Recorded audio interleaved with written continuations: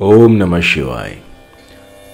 भक्तों, आज मैं आपको एक ऐसा मंत्र बताऊँगा जिससे कि कोई गुंजाइश ही नहीं रह जाएगी कि सामने वाला आपके प्यार में दीवाना है या नहीं। ये अति प्राचीन यंत्र है।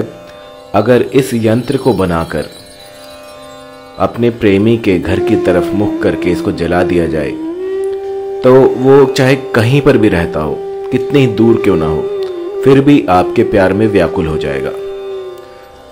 स्कूल टाइम में होता था कि हम एक फूल लेते थे और उसमें से she loves me she loves me note करते थे।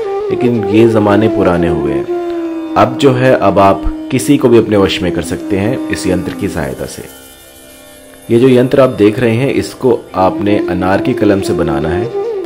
और कोई भी पेपर ले सकते हैं आप, सादा पेपर या फिर भोजपत्र लीजिए। और इसकी आपको बाती बनानी है दिए की। और दिए का मुख करना है आपको अपने प्रेमी के घर की तरफ़। ऐसा करके आपको इस दिए को प्रज्वलित कर देना है और इसको जब तक ये पूरा जल ना जाए, तब तक इसको जलाना है। अगर बीच में बुझ जाए तो भी आप इसको जला सकते हो। ऐसा अगर आप एक हफ़्ते तक करते हो तो जो भी आपका साध्य व्यक्ति है, जो भी आपका प्रेमी प्रेमिका है, उसको आप अपने वश में कर सकते हो। ये काफ़ी असरकारी प्रयोग है, अगर आप इसको करके देखें। एक हफ़्ते में ही इसका असर दिख जाता है। और इसको शुक्रवार या फिर बुधवार के दिन करना उचित रहेगा।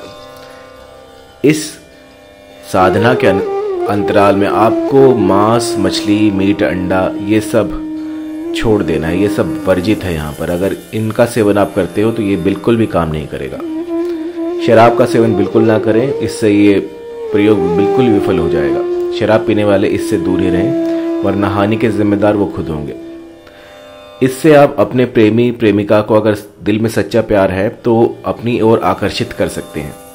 अगर पति पत्नी में मनमुटाव हो या फिर किसी भी तरह का कलह कलेश हो तो अपने घर में इसका दीपक जलाएँ और अपने मंदिर में जलाएँ तो भी इसका असर आपको बखूबी दिख जाएगा।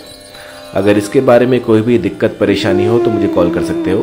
Triple nine two eight four सोलह पच्चीस पर। धन्यवाद।